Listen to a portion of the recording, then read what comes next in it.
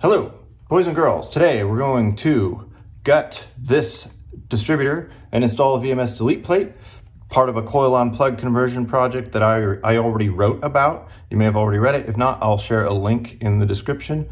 Uh, but let's just get to turning screws and talking about why we're doing this. Okay, this is a regular Acura Integra GSR distributor for B18C1 that is going in the CRX. CRX already has a coil on plug conversion, so I can just slap this in. I already have the harness in there and it works. But we're going to gut it, remove the ignition coils and everything so that, well, one, I just like to remove extra stuff from race cars that's not needed anymore. And I want to install this delete plate. This is from VMS Racing. I'll include a link below. Um, it's so that you don't have these electrified contacts with the distributor in there spinning, it's just a bad idea. So uh, let's void this warranty.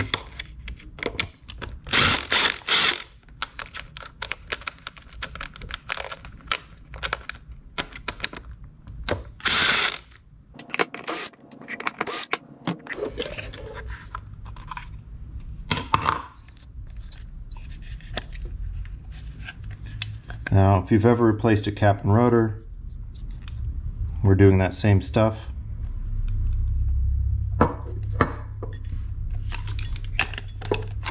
Remove the screw. I'm not being very gentle with this because all this is going in the trash. Oh, look at that. Warranty void if removed.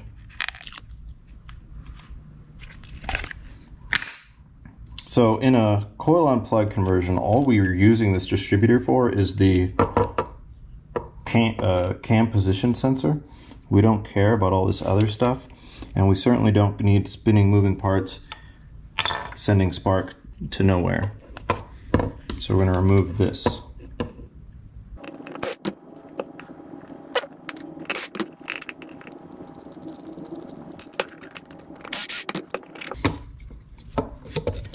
So this whole thing can go.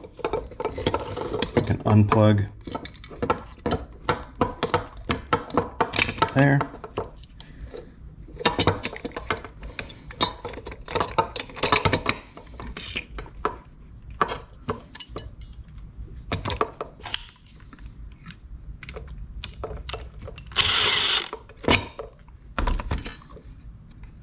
Saving ourselves major ounces here. Now, this looks like a ground cable, but it actually is the positive for the coil here. So we're definitely not going to leave that hanging around. Not that we would even if it was ground, but even more so. So I'm throwing some heat shrink on here using a Ryobi heat gun.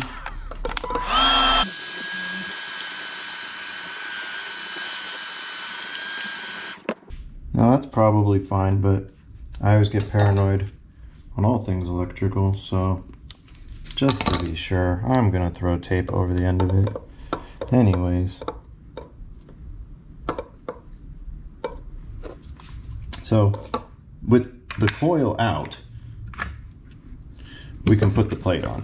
This is the VMS plate again. It comes with these hex screws. And uh, if you're actually doing this project, by now you've probably turned off the video because the rest is super obvious. Like, you know how to put this back together. Uh, I will mention that these are metric screws, which is good. I hate when something comes with standard American screws, when I, then I have to put it into a Japanese car that's all metric, and then there's just these random few things in the car that are not metric. Well, you don't have to worry about that here.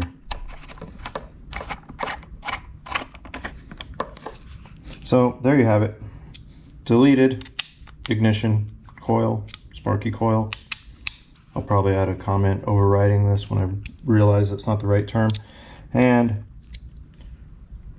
no exposed contacts, most importantly. And So there you have it. This is ready to install. If you're interested in doing a coil on plug conversion for your B series, uh, we are selling the harnesses on aerace.com. I have a full write-up on joelguerra.com. I'll include a link in the description on how to do, the write-up is on how to actually do the coil on plug conversion using the AE race harness. And then you just follow what we just did here with the delete plate. I will have a full video later on a full front to back coil on plug conversion when I do it on the Turbo CRV. So stay tuned for that. And thanks for watching.